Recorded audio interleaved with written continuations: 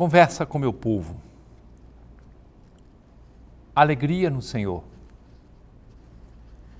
A igreja e o mundo continuam a se surpreender com as atitudes e palavras do Papa Francisco, novidade de Deus oferecida a todos, com segurança, coerência, clareza e capacidade de decisão que edificam as pessoas que estão mais próximas e os que se encontram nas periferias geográficas e existenciais. O Papa propõe continuamente a volta ao Evangelho e oportunidades de conversão aos que se encontram na igreja e aos que a olham de longe. Ninguém espere dele atitudes contrárias ao ensinamento moral ou irresponsabilidades na condução da igreja. Ao realizar a reforma da Cúria Romana, ou a reflexão sinodal sobre a família, ainda quando pretendem colocar em sua boca palavras e propostas estranhas, basta ouvi-lo diretamente ou ler os documentos dele emanados para verificar a linha clara do evangelizador incansável e coerente presente de Deus, como eu disse, para o nosso tempo. Durante o tempo do advento, ao voltar o chamado Domingo da Alegria, desejo compartilhar o caminho da alegria cristã a partir das constatações e provocações positivas feitas pelo Santo Padre em sua exortação apostólica Evangelii Gaudium, a alegria do Evangelho. A alegria do Evangelho enche o coração e a vida inteira daqueles que se encontram com Jesus. Quantos se deixam salvar por Ele são libertados do pecado, da tristeza, do vazio interior, do isolamento. Com Jesus Cristo, renasce sem cessar a alegria. Diz o Papa, quero dirigir-me aos fiéis cristãos a fim de convidá-los para uma nova etapa evangelizadora marcada por esta alegria e indicar caminhos para o percurso da Igreja nos próximos anos. O grande risco do mundo atual, com sua múltipla e avassaladora oferta de consumo, é uma tristeza individualista que brota do coração comodista e mesquinho, da busca desordenada de prazeres superficiais, da consciência isolada. Quando a vida interior se fecha nos próprios interesses, deixa de haver espaço para os outros. Já não entram os pobres, já não se ouve a voz de Deus, já não se goza da doce alegria do seu amor, nem fervilha o entusiasmo de fazer o bem. Este é um risco certo e permanente que correm também as pessoas de fé. Muitos caem nele, transformando-se em pessoas ressentidas, queixosas, sem vida. Esta não é a escolha de uma vida digna e plena. Este não é o desígnio que Deus tem para nós. Esta não é a vida no Espírito que jorra do coração de Cristo ressuscitado. Convido todo cristão, em qualquer lugar e situação que se encontre, a renovar hoje mesmo o seu encontro pessoal com Jesus Cristo, ou pelo menos a tomar a decisão de se deixar encontrar por Ele, de procurá-lo dia a dia, sem cessar.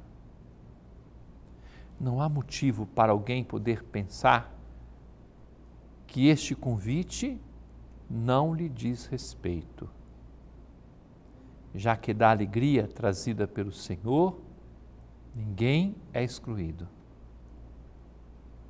Quem arrisca, o Senhor não desilude. E quando alguém dá um pequeno passo em direção a Jesus, descobre que ele já aguardava de braços abertos a sua chegada. Caríssimo irmão, caríssima irmã, este é um presente digno de ser pedido e ao mesmo tempo compartilhado no Natal que se aproxima. A verdadeira alegria.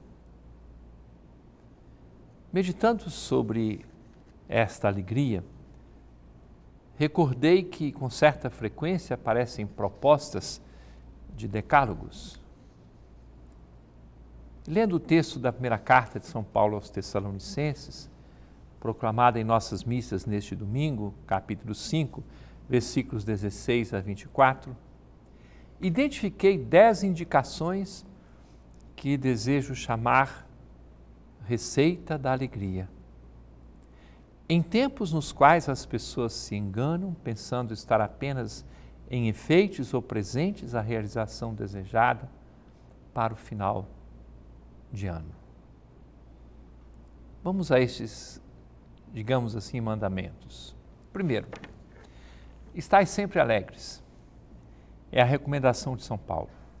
Alegria é tarefa, virtude a ser praticada, decisão tomada com clareza. Antes de ser uma efusão de barulho ou de gargalhadas, quem sabe motivadas por exterioridades que não realizam as pessoas.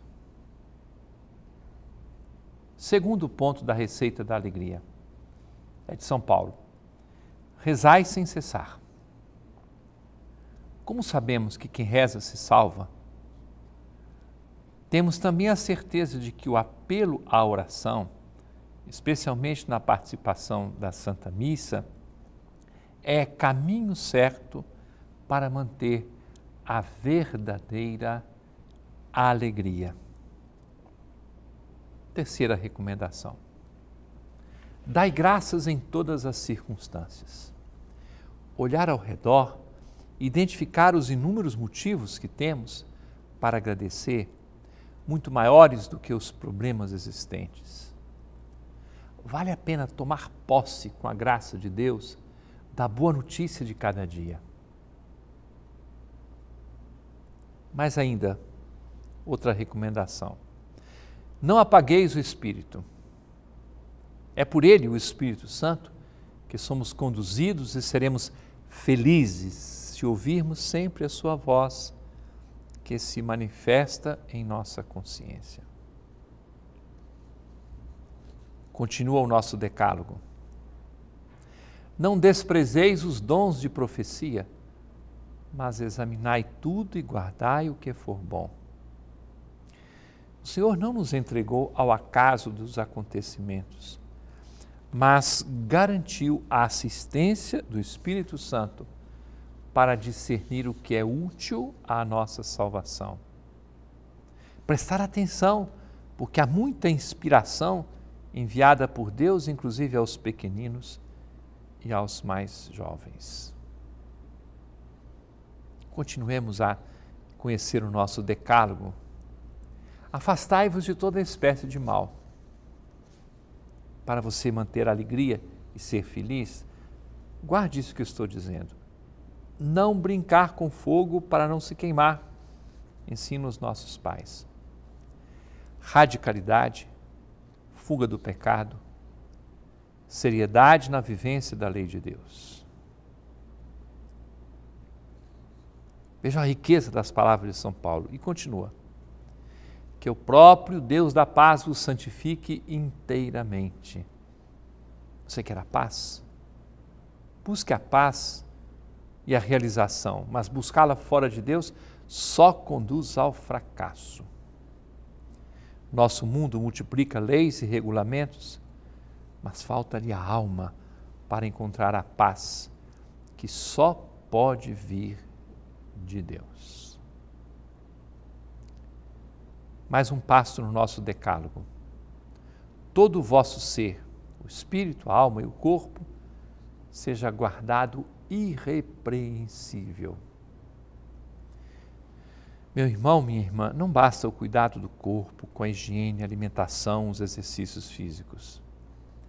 É necessário cuidar da vida interior, cuidar da alma. Se queremos ser realmente felizes e alegres, quem não busca o perdão de Deus não será feliz, não será alegre. O apóstolo São Paulo propõe também um ponto de chegada para a vinda de nosso Senhor Jesus Cristo. De fato, é o próprio São Paulo que diz em outra parte: se é só para esta vida que pusemos a nossa esperança em Cristo, somos dentre todos os homens os mais dignos de compaixão. Fonte de felicidade é olhar também para a eternidade, depois de nossa Páscoa pessoal na morte. Último passo deste decálogo que eu tirei da carta de São Paulo aos Tessalonicenses. Aquele que vos chama é fiel. Ele mesmo fará isto. A última recomendação é uma afirmação, é uma certeza de que estamos nas mãos de quem nos pode dar a verdadeira alegria. alegria não é só conquista pessoal, é dom de Deus. Por isso precisamos pedi-la. Experimente esta receita. Desafio a quem quer que seja. Se conseguirá ficar sem alegria e sem felicidade ao praticar esses dez pontos que eu tirei não da minha cabeça, mas da palavra do apóstolo São Paulo. Caríssimo irmão, caríssima irmã, permaneça conosco, daqui a pouco estamos de volta. Conversa com meu povo. Caríssimo irmão, caríssima irmã, neste final de semana, nas missas deste sábado e de amanhã domingo, no Brasil inteiro, em todas as missas e outras celebrações, em todas as paróquias e comunidades, acontece a coleta para a evangelização. É a nossa participação na responsabilidade pela evangelização. Queremos convocar a todos, pedir que aquilo que acontece cada ano nós crescemos na generosidade, na participação nessa coleta da evangelização, que neste ano se repita e que nós cresçamos mais em nossa participação. Prepare com a sua família a participação na coleta deste final de semana, com os envelopes ou sem os envelopes, todas as coletas das missas serão feitas nesta intenção da coleta nacional para a evangelização. E agora perguntas que as pessoas nos enviaram. Dessa feita são perguntas de pessoas que trabalham conosco na Fundação Nazaré de Comunicação e na Cúria Metropolitana. A primeira pergunta é de Alain Monteiro, que reside na paróquia de Santo Antônio de Pádua, no Coqueiro, que é o nosso assessor de comunicação. A minha dúvida é: eu gostaria de saber se é correto algumas pessoas se ajoelharem para receber a comunhão algo que a gente vê em algumas igrejas, né, algumas pessoas de comunidade, alguns coroinhas, mas é correto que se ajoelhe é necessário ou fica a cargo de cada um? Obrigado, Alain, pela sua pergunta, porque ela ilustra o conhecimento da prática litúrgica. A norma da liturgia diz que a comunhão pode ser feita de pé ou ajoelhado a pessoa pode receber a comunhão em sua mão ou pode receber direto na sua boca. A escolha é do comungante. Eu fico preocupado mais do que com o fato da pessoa comungar de pé ou ajoelhado. Algumas pessoas também voltaram esse costume de usar o véu para a comunhão, no caso das mulheres. Eu fico preocupado com aquilo que acompanha esse tipo de gestos. Porque alguém disse que teve lá, não sei que revelação extraordinária, e aí começa a espalhar aquela conversa. Então a pessoa pensa que Só quando você se ajoelha é que você está manifestando o respeito e a adoração a Nosso Senhor. O que não é verdade. Se uma pessoa se ajoelha para receber a Sagrada Comunhão, é claro, com exceção dos acólitos ou coroinhas que vão comungar na Santa Missa, que já sabem nas missas comigo, já sabem que devem se aproximar do altar para comungar sempre de pé. Mas a igreja, ela dá esta liberdade. Mas quando alguém comunga de pé, é menos respeito do que estar de joelho? Que nada. Quando no Novo Testamento diz assim, ele se levantou. Estar de pé é posição de ressuscitado. É posição de ressuscitado. Santo Agostinho fala, por exemplo, sobre a comunhão, ele diz que as mãos que se abrem como se fosse uma concha e você toma o corpo do Senhor e leva até a sua boca para comungar, é um gesto de profundo respeito, de carinho com nosso Senhor. Portanto, a liberdade é da pessoa que comunga. No entanto, nós precisamos ter cuidado para não espalhar por aí argumentações que correspondem a um pouco conhecimento da própria liturgia e que corre o risco de espalhar por aí uma espécie de um integrismo, de um tradicionalismo que não faz bem a quem quer que seja. Pergunta de Alex Monteiro, que é da paróquia Nossa Senhora do Perpétuo Socorro. Minha pergunta é um questionamento que muitos cristãos católicos fazem. É sobre o nascimento de Jesus. A gente sabe que a comemoração em si é dia 25 de dezembro. Porém, Jesus, historicamente, não tem registro que nasceu nessa época. Então, Dom Alberto, queria que o senhor explicasse para a gente o, o, histórico, o sentido dessa festa ser no dia 25 de dezembro. Alex, os primeiros cristãos tinham uma preocupação de anunciar Jesus Cristo morreu, Jesus Cristo ressuscitou, ele há de voltar, ele é o Salvador. Acreditar em Jesus Cristo na força da sua morte e da sua ressurreição. Quando o tempo começou a passar, muitos se perguntavam a respeito da infância de Jesus, do seu nascimento, tanto que os textos do Evangelho de São Lucas ou de São Mateus, que narram alguma coisa da infância de Jesus, especialmente São Lucas, são textos que foram escritos depois. Então, os evangelhos não foram escritos como um livro de atas. Primeiro foi a proclamação fundamental do querigma, que Jesus Cristo morreu, ressuscitou, é o Salvador. Depois é que veio a, a, a narrativa, tudo indica que São Lucas teve contato com Nossa Senhora, porque há detalhes que só a Virgem Maria e São José sabiam. Então, a narrativa dos evangelhos foi escrita assim. O correr do tempo levou as pessoas a celebrarem o quê? Primeiro a Páscoa. Páscoa semanal, o domingo, o dia da ressurreição de Jesus. Ele ressuscitou no primeiro dia da semana, aí os cristãos, ao invés de comemorar o dia de sábado dos judeus, como cristãos começaram a comemorar o primeiro dia da semana, que mudou de nome, veio a se chamar domingo. Com o tempo, a memória dos fatos acontecidos, como o Natal do Senhor, ou outros acontecimentos. Então, essa memória começou a ficar viva e as pessoas escolhiam datas para celebrar aquele acontecimento.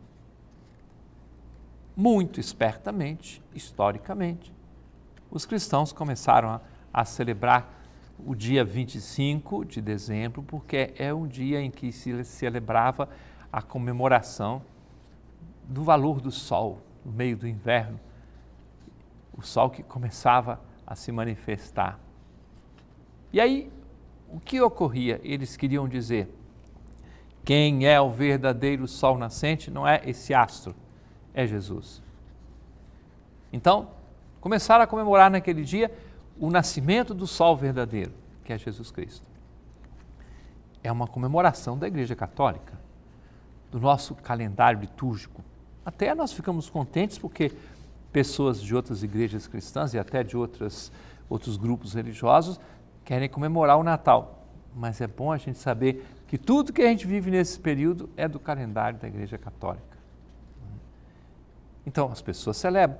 Se eu fosse pensar em, em outras datas, a história é sempre a mesma, não é uma data do calendário no sentido estrito, porque não havia costume de guardar essas datas.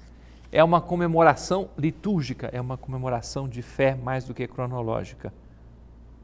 Então aí, nascimento de Jesus, 25 de dezembro, nove meses a menos, 25 de março, anunciação do anjo Nossa Senhora. Há poucos dias celebramos a Imaculada Conceição, 8 de dezembro, mais nove meses, 8 de setembro, natividade, aniversário de Nossa Senhora.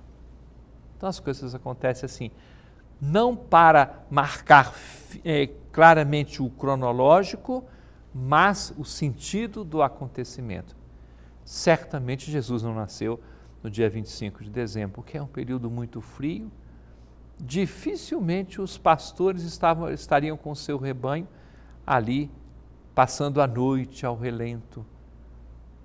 Provavelmente ele nasceu num outro período. E o que importa é isso? Importa que no mistério nós celebramos Jesus que nasceu. E celebramos como? Com a sua morte e ressurreição, com a missa tudo para nós é celebrado com a Páscoa de Jesus, que é a grande festa, a mais importante de todas. Muito obrigado pela sua pergunta, que nos ajuda muito. Agora vem Diana Marina, que é da Paróquia de Santana, que trabalha também na Fundação Nazaré, a pergunta. O que é uma legítima adoração? É só cantos ou a gente também precisa fazer silêncio? Ana Marina, adoração é um gesto. São Francisco gostava de rezar diante de Deus assim: Eu sou nada, tu és tudo, eu sou nada, tu és tudo. É a criatura que diz que Deus é Deus e que nós somos criaturas. Então, é um ato de adoração, é um ato de respeito profundo, o mais profundo desses atos é o da adoração. A adoração você pode fazer no silêncio, o Papa Francisco, a certa altura, ele comentou que ele vai cedinho para a capela e fica de seis até às sete ali em silêncio diante de Jesus, antes de começar a Santa Missa. Você pode estar diante do Santíssimo Sacramento, pode fazer um ato de adoração em silêncio, ou com um salmo, ou com uma oração, ou com um canto, em outros ambientes. Então, a verdadeira adoração é você manifestar que para você Deus é Deus. A gente costuma dividir, por exemplo, uma hora de adoração. Se eu vou pregar uma hora de adoração, eu divido em quatro partes. Primeiro, louvor, quando eu elogio a Deus por aquilo que Ele é. Ação de graças, quando eu agradeço por aquilo que Ele faz. Pedido de perdão, quando eu confronto diante de Deus os meus limites, as minhas fraquezas. E a quarta parte da adoração é a súplica pedir, interceder. São formas que nós temos para manifestar esse gesto de adoração a Nosso Senhor. Irmãos e irmãs, desça sobre todos a bênção de Deus Todo-Poderoso, Pai, Filho e Espírito Santo e permaneça para sempre. Amém.